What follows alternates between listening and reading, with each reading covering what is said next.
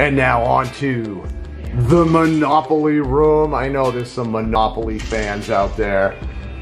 I gotta say, this is probably one of my favorite rooms, to be honest, in this whole beautiful, beautiful resort.